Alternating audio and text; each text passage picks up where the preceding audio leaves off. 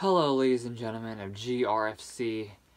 It is I, your current reigning, defending, top tier heavyweight champion of the world, Zack Roper, the goth rock star.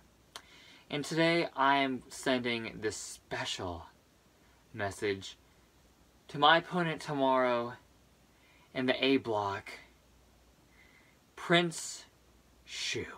Now, I'm sure a lot of you who have followed my career closely damn well knows how important, how huge this match is. But for those of y'all who aren't in the loop, or who are too stupid to do some research, let me fill you in on what's so special about this match. You see, I've gone through a lot of men across countless promotions all around the world. And there have only been a few men that have truly tested me, that have pushed me to my limits, where I've had to do dastardly, desperate things in order to get the win.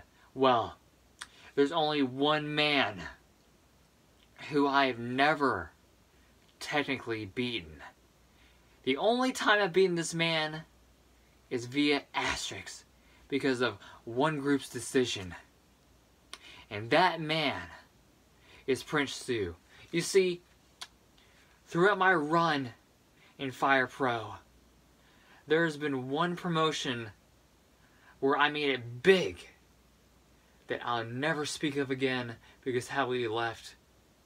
But in that promotion, when I went for the television championship, Prince Shu stood in my way. My first chance of gold. And he blocks me at every turn. Now that I am the current top tier heavyweight champion, I have to defend my title through this tournament. If I don't get the most points, then I lose my championship that I have held since the second pay-per-view of this company. So the person who's going to take this title from me better kill me at this point. And of all the people I could lose my title to, Prince Shu is a very good possibility for me. So I promise you this, Prince Shu.